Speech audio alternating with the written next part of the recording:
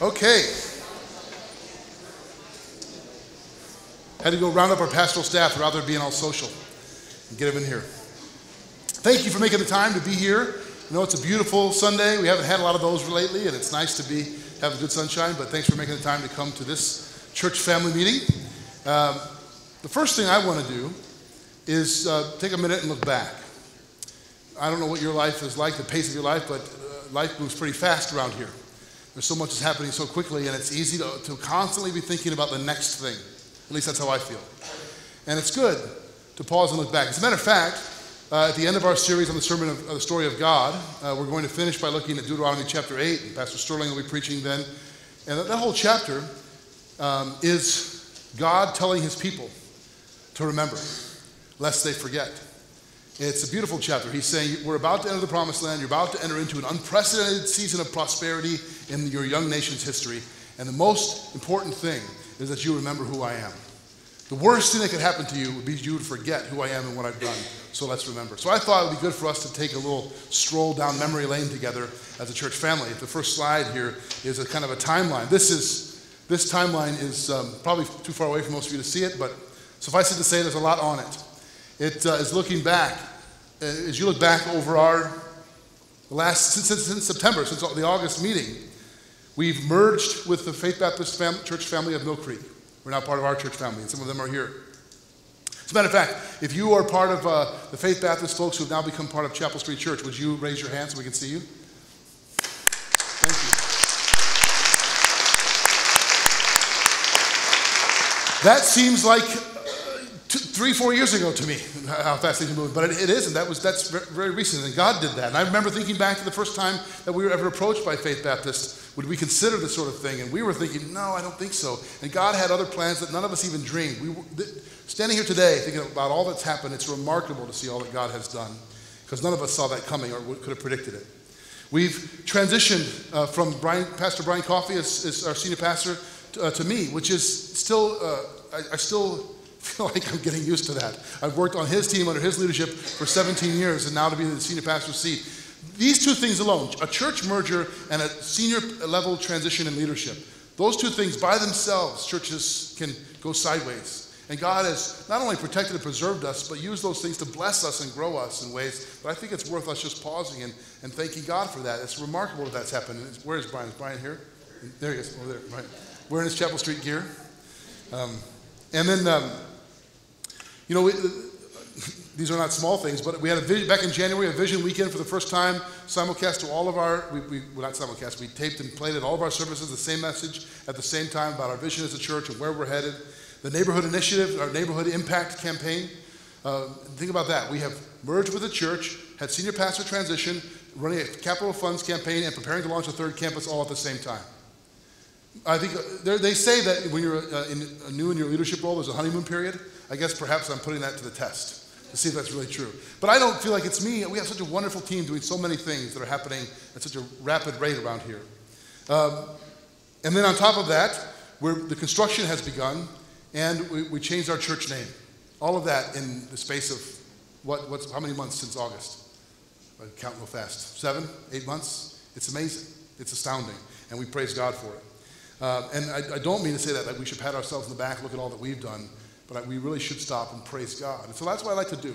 right where you're sitting, right together here, I'd like for us to take a minute, cluster up with people that are near you, and just have uh, five minutes of prayer, thanking God for all that He has done in the life of our church since we met last as a church family meeting, which was back in, in August. So I'm going to come down and join you, cluster up, the people you know or don't know, and let's pray and thank God.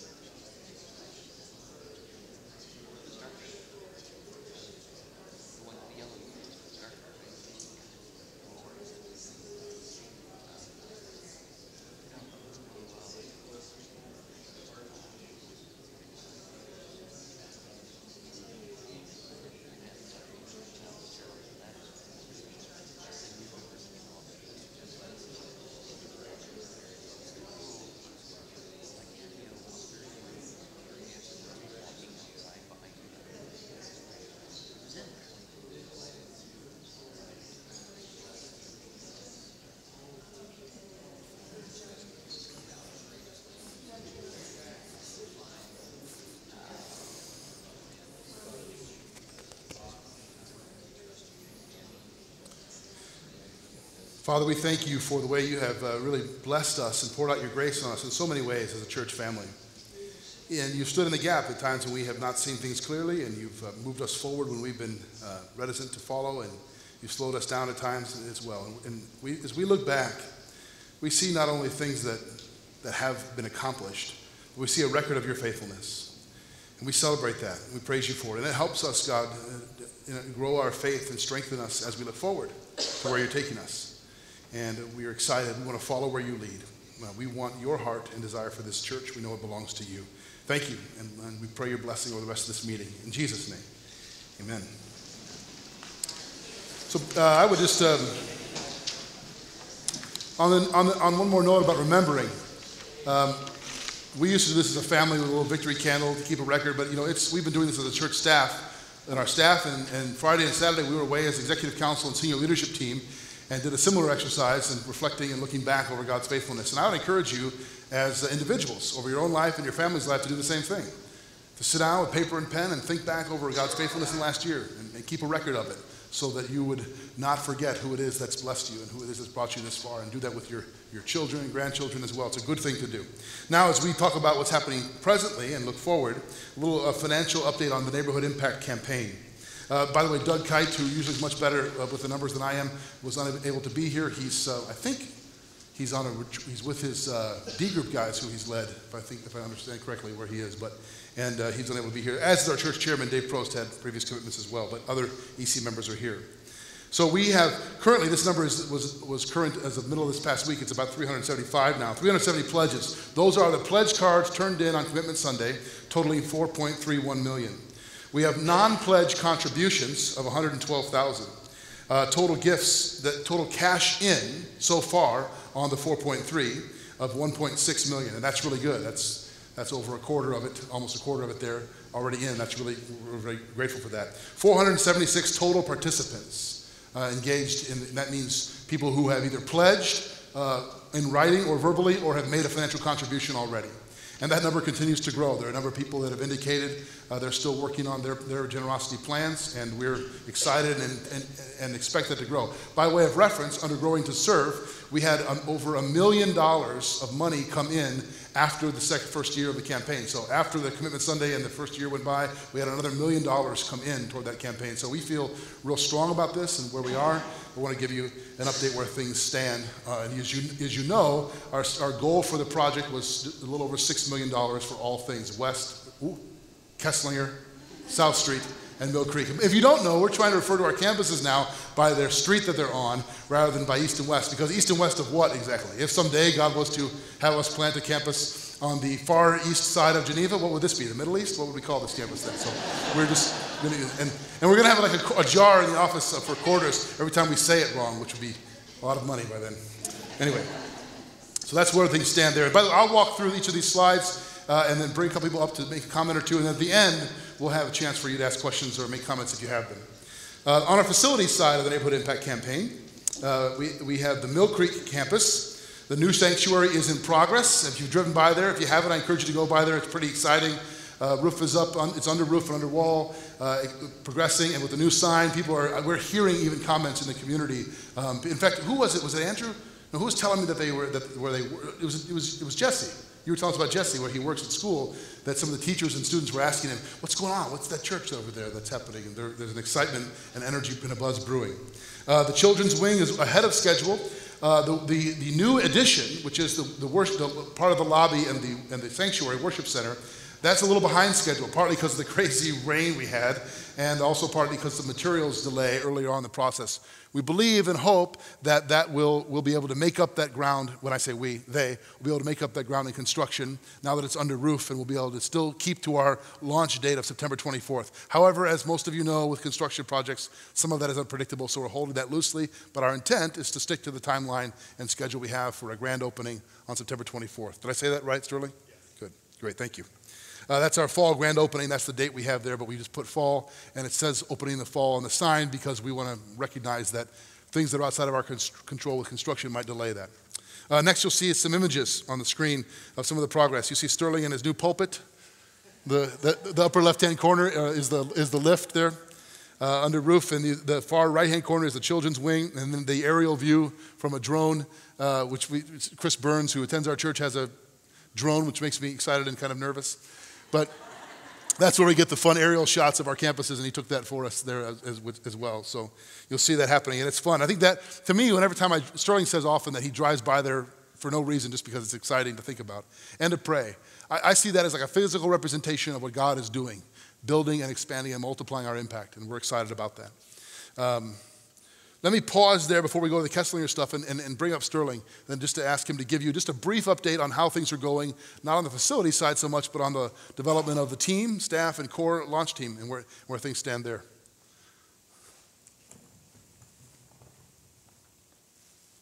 I probably should turn that on, huh? Check.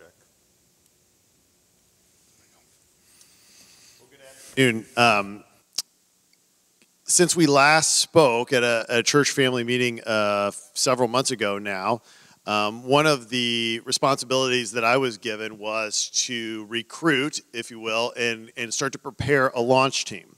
meaning church uh, families from the Chapelstreet Church community. They're presently attending to help get them ready for um, uh, launching the new campus in the fall. Our goal at that time was to recruit 150 adults.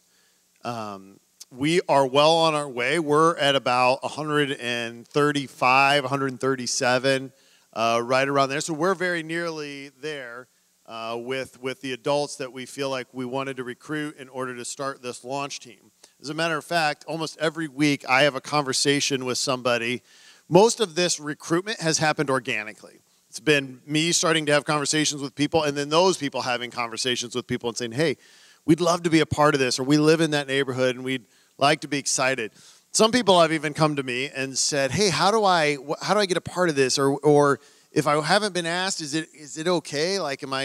I'm like, absolutely. Nobody is. We're not attempting at all to leave anybody out of this. We're growing the team uh, through kind of conversation and through personal relationship. And so, if you're sitting here this morning and you're like, "Hey, I'm planning to attend the Mill Creek campus," please email me and and let me know. I would love to loop you in on the communication and what's taking place. So we're really excited. Just a few weeks ago, this uh, launch team gathered in this very space um, just to meet together and pray, um, just to continue to seek God's face in terms of the ministry that He wants to unfold on that campus, and to to establish from the very outset that we want to be a community that's praying together, praying for each other, and praying for what God has set in front of us. Um, and so we have seen God's faithfulness already.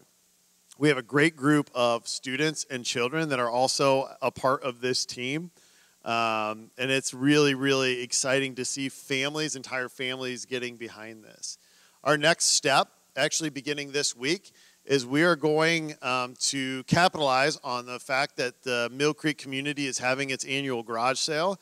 And we are going to go out into the community and deliver little care packages um, very briefly, very shortly, we know they're going to be busy, but just to say we're moving into the neighborhood, and we want to tell you that um, we want to get to know you, and we look forward the opportunity to, to partnering together, to inviting them to be a part of what God is doing.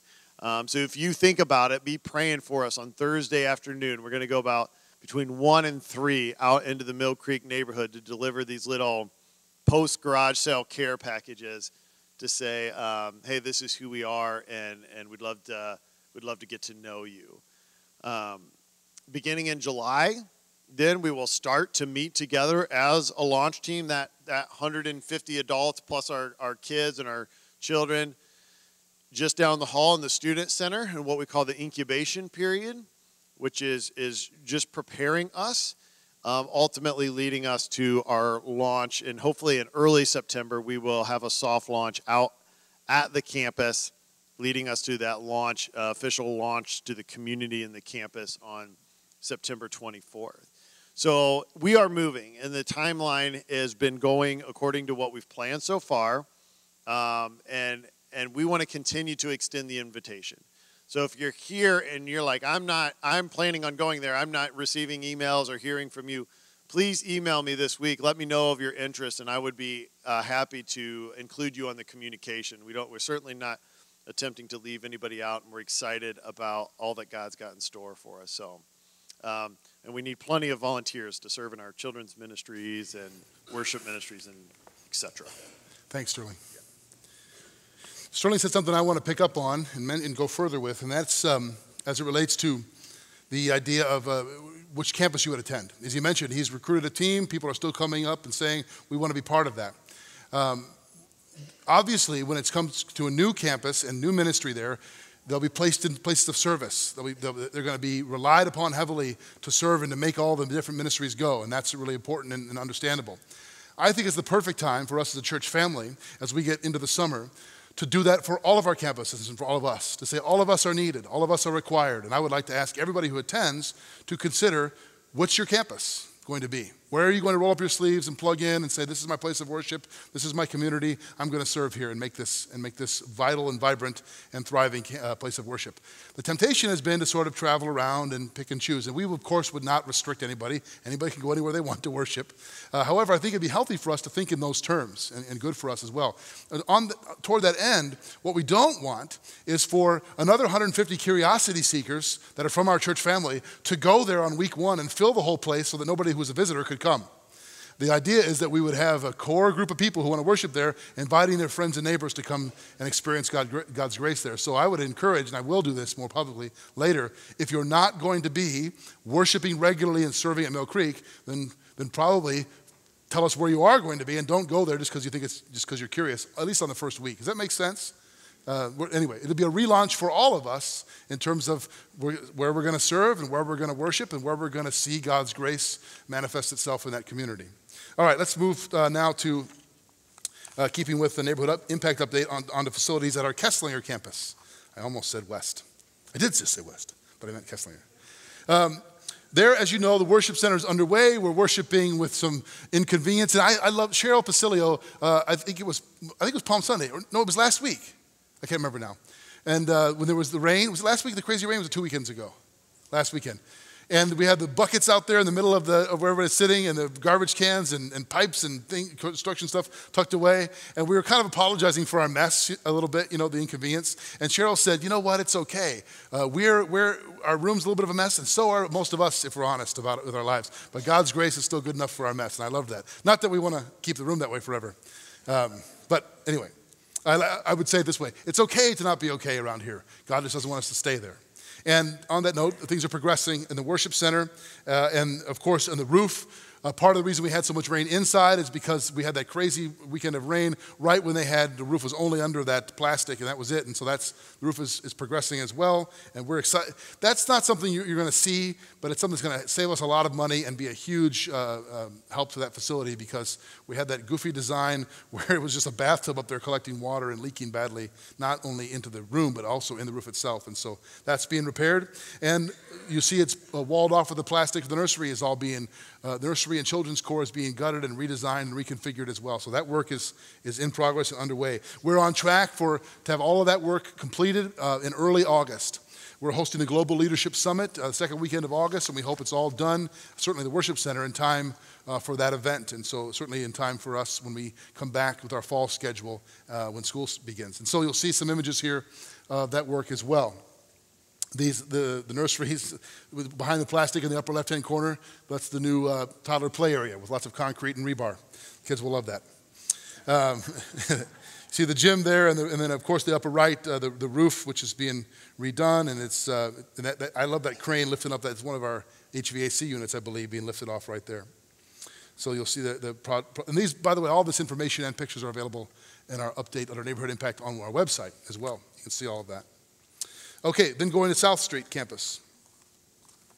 This is the smaller of the three parts of the project in terms of its financial uh, scope, but it's certainly not small in our minds because it relates to Shepherd's Heart, which is a really important and rapidly growing ministry around here. We recognize as leadership that the long term eventual destination of Shepherd's Heart is probably not at this campus. We don't yet know exactly where that will be and what that will look like.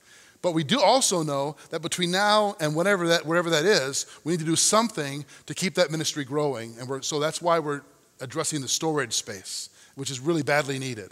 Uh, down the hall, uh, where the hand-in-hand preschool rooms, when they vacate, we're going to put in do two different things: bring in some refrigeration units, if I have this right, Bruce, right, for cold storage, which we've not had the capacity for, and we're also going. We are not exactly sure. We're having estimates and designs even as we even this this coming week for, for delivery. Uh, right now, we have to bring everything in by hand on, off of giant trucks. There's a, a plan being worked out for a, uh, a, pad, a con- pouring a concrete pad and a conveyor belt system to come off of the, I guess it'd be the back, is that gray? Or what street is that behind the, uh, uh this campus, right back? Gary. Gary. Uh, right back there. There will be a conveyor belt system for the delivery from the trucks. Anyway, this may be more information than you want, but that's what we're trying to do address the delivery and the storage uh, and refrigeration of Shepherd's Heart in the interim, because we really believe eventually we're going to need to build a bigger facility or find a better, bigger location that can house all of its needs not only food pantry, clothing closet, our counseling and meeting rooms, our budgeting team rooms, the staff that's growing, and volunteers as well. Uh, it's, it's, it's, it's thrilling to see God using that, but we recognize that's probably going to, there'll be another stage to that. This is an interim step on, on Shepherd's Heart. Did I miss anything there, Bruce, on that? Okay. That is the, the, the update on the Neighborhood Impact Campaign so far. Um, so I'm going to pause now and, uh, and, and, and, open it up for questions. And we have members of the EC and Pastor Brian and Bruce and Sterling as well. Uh, you can ask questions about anything I've talked about. I'm sure there will be some, or any things that, things that haven't been addressed as well. Um, is Stetson Butler here? No? He might be somewhere else. he is somewhere else, for sure, right? If he were here, I would say it publicly, bless him, but I'll say it just in case you, uh, in his absence. Stetson and his team, Paige Peltier is here back there, uh, is our director of social media and works in our communications department. They have done such amazing work behind the scenes in preparation for the name change uh, rollout and launch. As you know, that happened pretty fast, but it really wasn't uh, seat of the pants. They had worked hard and prepared and were thoughtful, and I just wanted to say publicly thank you to Stetson and Paige and all the communications team. John Harper, is he here? He's probably fixing something somewhere uh, John as well have done, they've done just a tremendous job getting us ready for all of that. So I wanted to say publicly thank you to all of you. All right, uh, questions that you have, and, and you can say them and I'll repeat them for the sake of the recording. Anybody have anything they'd like to comment on or make a question or ask a question about? Feel free. Tom.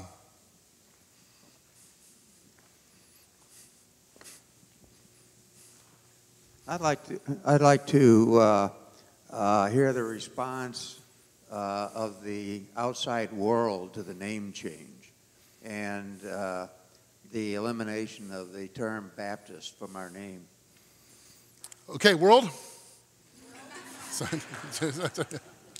um, yeah, I'm not sure I can speak for the outside world since I'm probably one of the most inside people here. Um, but I, I can tell you anecdotally, the response we've had this week from people inside and outside of our church has been overwhelmingly positive by posts on social media, comments on Facebook and social media, by emails we've received, not just me, but members of our staff, by conversations we've had with people. Uh, it, it, and it's been really, really, really encouraging. If you saw the article in the Kane County Chronicle about the name change, uh, the, we released a, uh, just a statement to the press about the name change. And she called right away, asked questions, very positive and excited. Um, and, and, so the, my sense is it's been really positive one anecdotal story is that Jackie uh, Reagans, who's our receptionist downstairs, uh, I don't think she's here today, but she's the UPS guy. She gets to know all the delivery people and the drivers. And so she, he, he said, hey, you changed your name because he's always coming to, you know, the same address. And he asked why, and she talked about the reasons why, that we want to be more welcoming and inviting to people. That, and she says, by the way, what did you think about Baptist? He goes, well, I'd never go to a Baptist church, but I might come here. I like you people. So, so anyway, I don't think he's ever been to a service. He just comes in and sees Jackie. You know, and I listen to my office is right. I, I, she's right outside my office, so I listen to her answer the phone all day. Good morning, Chapelstreet Church. This is Jackie. How can I help you? She's caught herself a couple of times, and I can hear what people are. I can assume what people are saying on the other end. Right? They're going, "Oh, uh, I thought I was calling," uh, and she's like, "Oh, we changed our name." You know. So anyway, my sense is that it's been a very positive reaction. Uh, some people have expressed questions about why did you do that? What, what's the purpose behind it? And what's the meaning of this name? Um, and that sort of thing. But, but, but by and large, it's been overwhelmingly positive. So, comments on that note? Others of you? I think we'll find out the reaction of the outside world uh, as we go. That's the reason we did it. Other, other questions? You don't have to use the mic as well. Other snide remarks, sarcastic comments, anything? Not, Harry. Okay.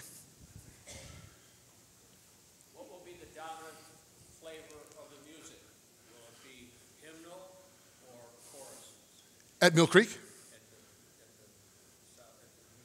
At the new campus, his question is what will be the dominant flavor of the worship uh, at the new Mill Creek campus? It will be um, similar in tone to our West Campus contemporary worship. Not exactly the same. They're not, it's not a carbon copy, but it would not be uh, like it is here at the first 915 hour. Not pipe organ and hymn, it'll be, it'll be contemporary in nature. Yeah. And as you know, the staff going to lead worship out there are, are Ali uh, uh Goebel and uh, Eric Elfman and they're going to be the, the two headed team to lead out there. If you know Allie's heart, she likes to uh, take sacred and traditional hymns and, and put a contemporary spin on them, so I think there'll be a lot of that, but it'll be very similar in style to what we do at our West Campus. Other questions? Hi, Mary.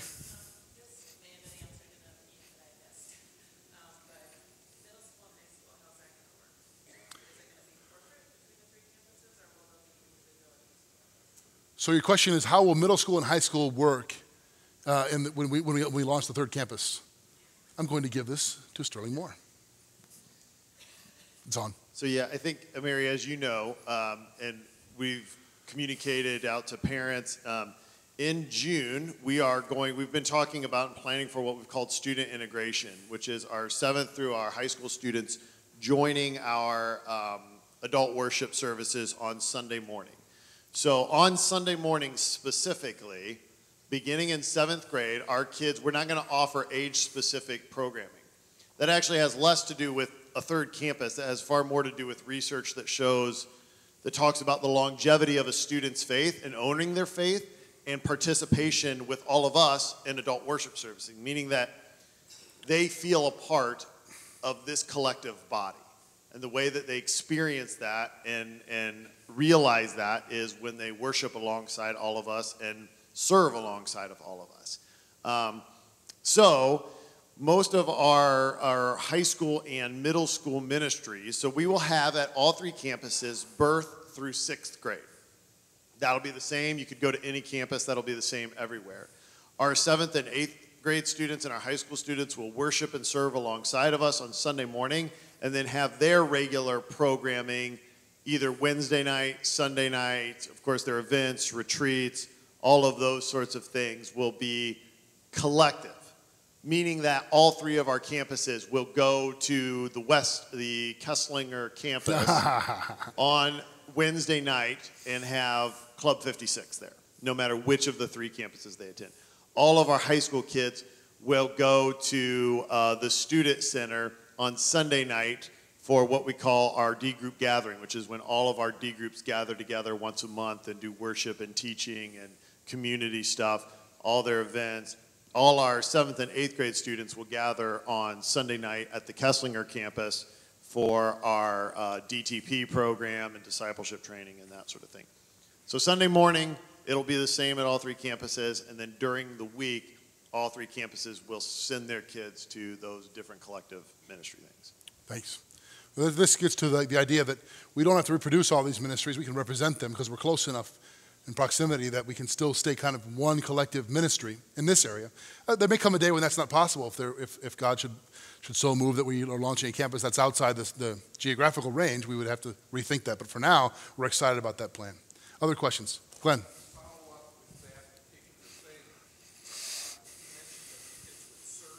follow Wouldn't you like that, Glenn? Glenn is saying, does that mean they could come and help me, please? Yes, uh, in fact, um, was it three weeks ago or two weeks ago? Uh, And uh, on Sunday morning in down the hall in Shrek, we, there was, the whole morning was dedicated to that. We, we want our students to be worshiping and serving alongside of our adults of every age. We think that's healthy and good for the church and for them long term, not hive them off in a separate program. So we're encouraging, uh, we had each department head or area leader come and make a, a presentation, a pitch to serve in worship and in tech and in children's and so on. Uh, it doesn't have to be serving Sunday morning, but there'll be lots of opportunities, and we anticipate a lot of that happening. So, yes, good question. Others? Oh, you want the mic or do you just want to shout it out? Uh, well, either way, I've got a pretty loud voice. Fire away. I think I can- Yeah, anyway, I just have a, a couple of things that I just wanted to say regarding, um, well, first of all, um, regarding the, uh, food pantry, Shepherd's Heart, yeah. um, you know, I did notice that uh, there are a couple of places just right around, you know, this campus um, that are currently not being used in the sense that, um, like, they're, they're, they're adjacent properties. Yeah. That, um, just currently have no function in the community. Uh, like the Strathmore building. Sure. Which used to be a Yeah. Right. that's since, uh, that's since not had Yeah. access to their, uh, to their facilities for quite Right. some time. And they've got like a shipping and receiving, Mhm. you know, dock for various trucks to, uh, you know, ship in and out Right. stuff. So I thought that'd be a good idea for. That's a great idea. You're thinking along the lines we're thinking too, like Avenue Chevrolet in Batavia is a vacant building. We're think, I think financially we're not ready to do that. Okay. And structurally we're not ready to do that, but those are ways we're thinking for the future yeah. Like, would, it, would, it be, would it be too out of our range to... At this stage, yes, but God might do that, yeah. All right, and then uh, the other thing I was about to mention was um, uh, actually uh, just a little bit earlier today I had, um, I delivered some donut holes because we were all out and... Uh, That's a shame when you're out of donut holes at church. Um, the uh, earlier question about how the world sees Chapelstreet Church. Mm.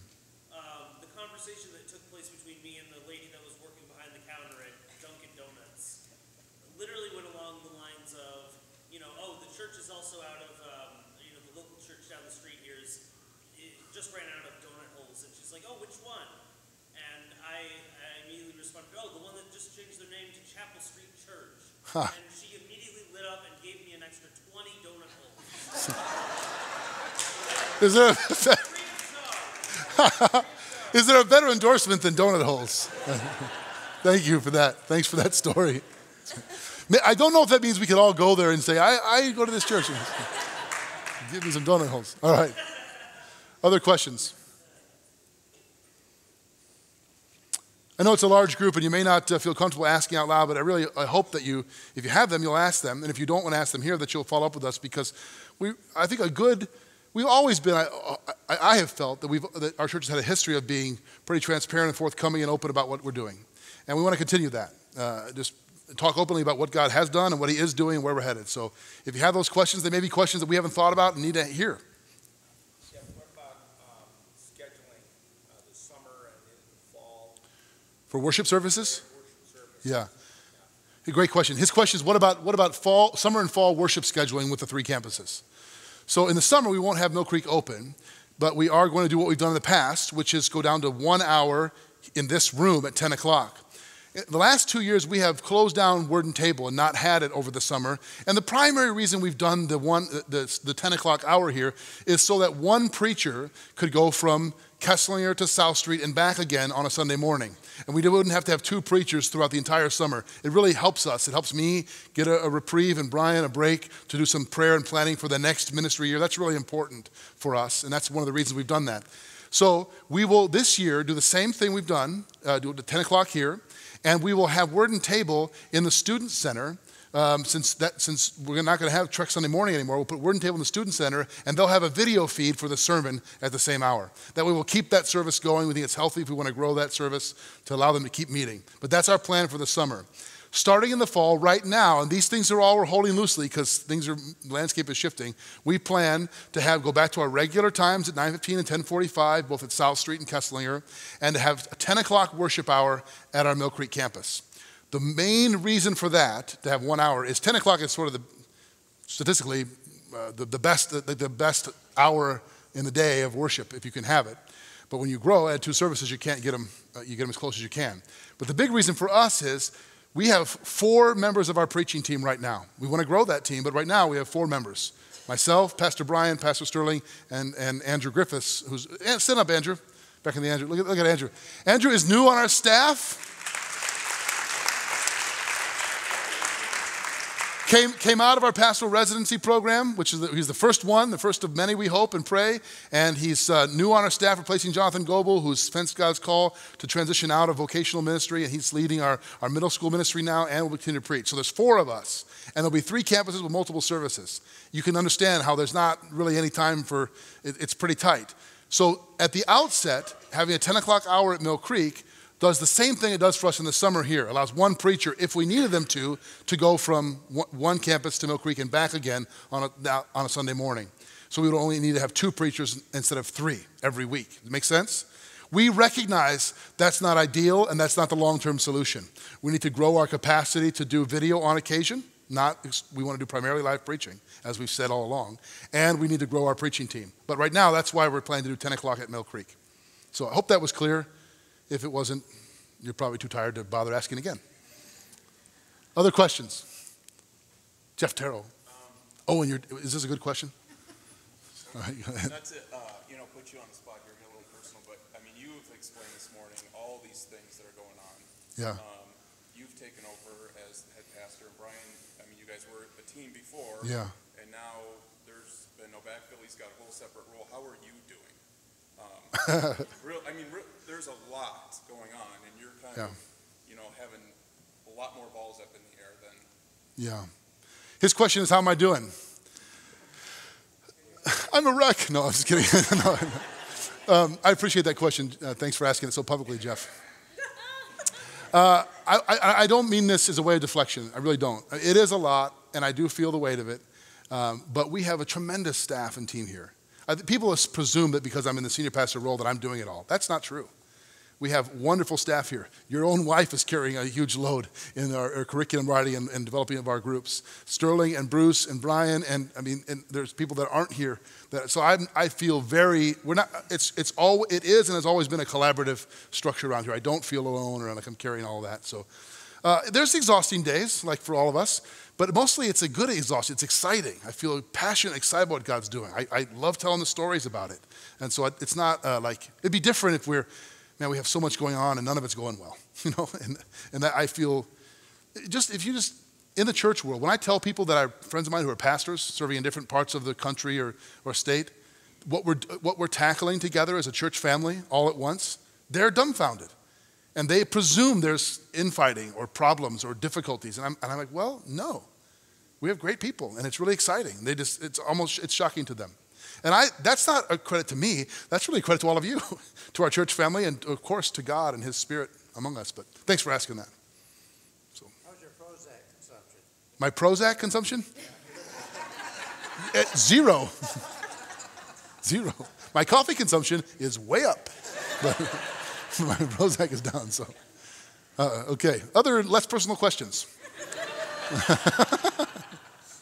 or comments. Really, we welcome them. And again, if you if you would rather wait and think it through and email us or ask us later, we welcome that as well.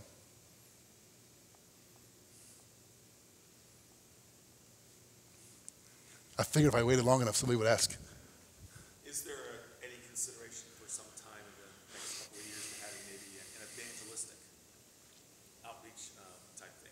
We're specifically trying to target unchurched people. Are you referring to inside our services or uh, uh like an external? A special Yeah, he's asking uh, if you didn't hear, is there any consideration to having an evangelistic uh, emphasis or outreach program, whether that's in the service or a program that would be on a different night or day, right? Like, like uh, yeah. Um, we actually yes, um, and if you mean by that like the old uh, idea of a, of a, of a, of a um, revival or crusade for a couple of days, we haven't really thought in those terms. But what Sterling was talking about, so we want to do it on two levels. One is, relationally speaking, we always want to be evangelistic. The, the idea of bringing the care packages, it's, it's all got Chapelstreet Church stuff on it. It's all a way of building relationships. Uh, we, we do want in the fall to be thinking about how the new people that are coming in. Laura Terrell, Jeff's wife over here, who's on our staff, is, has developed our neighboring seminar, which is very evangelistic and is working even now on new believers and those who are curious about the faith curriculum that we're going to be rolling out in the fall, hopefully fall, if not in the, in the, in, in the winter. But we have not plan, developed plans specifically for a series of programs uh, that, are, that are evangelistic in nature. But that's something we ought and should consider, and thank you for bringing it up.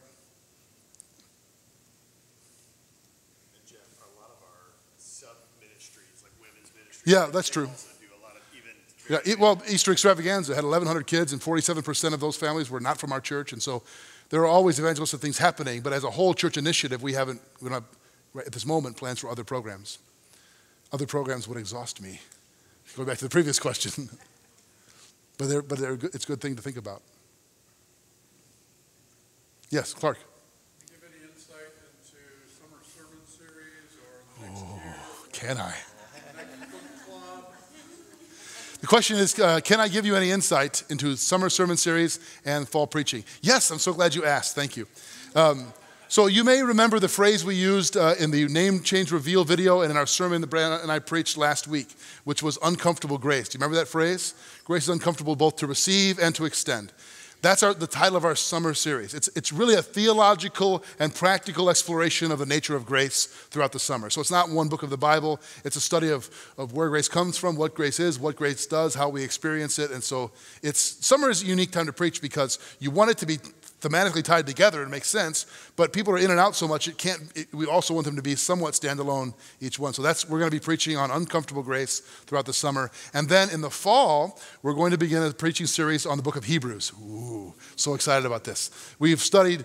Uh, we've done a lot of narrative. Uh, Andrew mentioned this at our last preaching team meeting. By the way, Brian uh, uh and, and, Sterling and myself and Andrew get together every other week uh, on Thursday mornings to pray and plan and talk about preaching. And Andrew mentioned in our last meeting, I believe it was Andrew, who said, You know, since I've been here, meaning him, I, we've done all narrative story of Jesus, story of God, which is wonderful. But the Bible has other kinds of books in it as well. And so we're going to look at Hebrews, which is really the book that ties beautifully together the Old New Testaments, which we've been in last year and this year. It'll be a perfect fall series. Uh, then we'll have an Advent series, which is not fully planned yet. And then we'll be studying Ephesians in the spring, which I'm super excited about, if you can't tell. Um, so that's, there's your answer. Book club. Laura, do you want to speak to the book club? Sure, it's just. Oh, Owen's laying on your lap. So get up, Owen. You Uh, for the book club, we're going to follow the sermon series. So in the fall, we'll be looking at Hebrews, and in the spring, we'll be looking at Ephesians. So super excited about that. Yeah.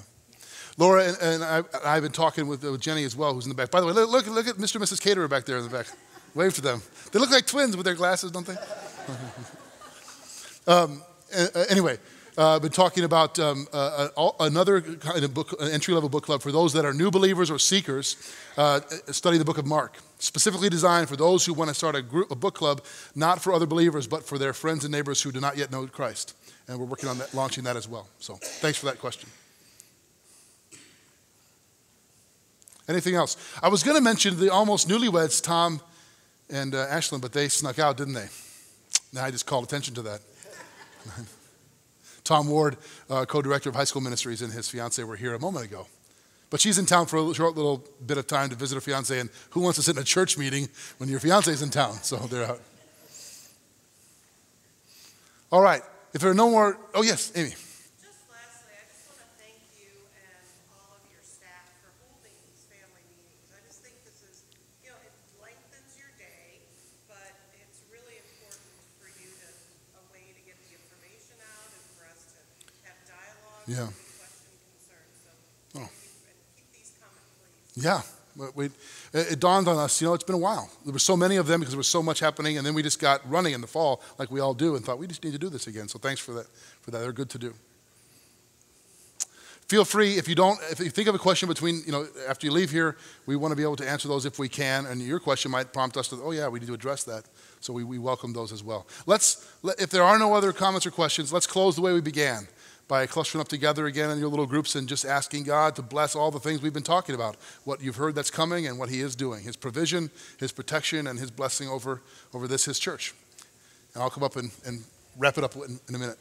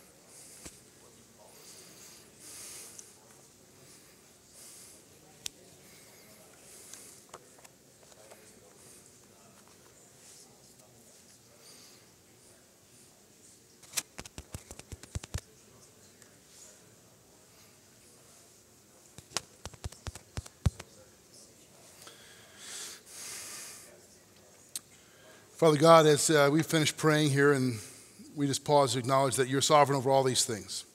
We once again look back and with gratitude and amazement at all that you've done, which gives us uh, courage in the present and for our future, because we know that you're at the helm. Thank you for all these people and uh, the families that they represent and lead. Thank you for the, our whole church family. And we, God, we pray specifically for your spirit to be moving in the hearts of those who will join our this, this year family who we don't even know yet. People in Mill Creek and, and even further south and west that we have not reached, that don't know your love and your grace. People that have brokenness and needs that only you can, can meet. Uh, but thank you for that. We thank you for the stories yet to be written, which you know, God.